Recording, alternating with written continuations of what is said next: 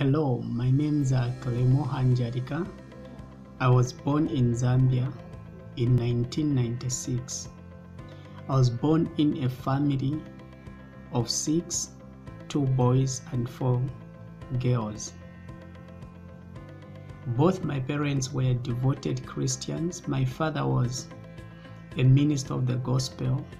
In the year 2008, I lost both of my parents, and it became a hard time for me to cope up with my Christian values. But I do thank God that when I went to secondary school, I heard the gospel being preached to me and I gave my life to God.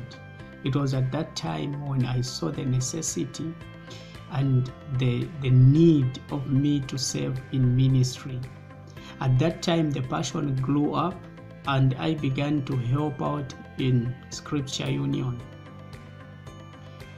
Now, when I completed my school, I was thinking over to do another career or whether to do ministry.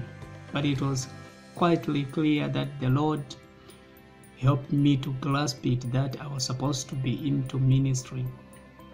At that time, with my burning passion, I began to find ways on how I could be equipped with the gospel.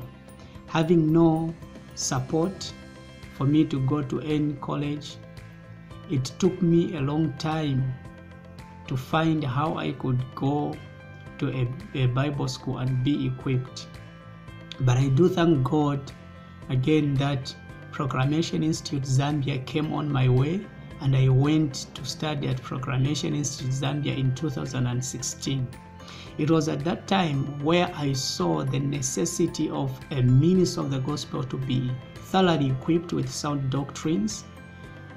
And I could see how I once uh, interpreted the scriptures, and I could see where I used to go wrong.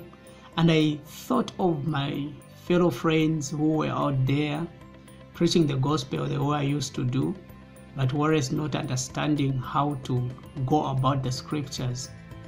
It was at that time when I developed the passion for, for preaching the gospel and to teach young ministers the sound doctrines. At that time, my passion developed and I thought of furthering my studies.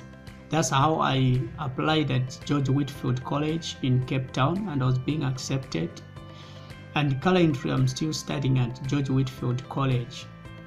My plans for the future is to go back to my country, Zambia, and to help out those young ministers who have got the passion for the gospel of God and equip them thoroughly so that in as much as they go out there they they go and preach the sound gospel to the people. And it is in that way that I saw that Proclamation Institute Zambia really helped me even at this time when I'm at George Whitefield College. I do really understand all the lectures that I'm being given because of the foundation that I got at, at, at Proclamation Institute Zambia. For this reason, I do appreciate Proclamation Institute Zambia, how it laid a foundation for me and how I have really grown in the Word of God because of what I was being taught at Proclamation Institute Zambia. In as much as I'm here at George Whitefield College, it just stands as if it's a building block of the foundation which was laid by, by, by Proclamation Institute Zambia. For that reason, I do appreciate and I do thank the people who have been supporting Proclamation Institute Zambia to train young ministers to be thoroughly equipped with the Word of God. May the good Lord continue blessing them.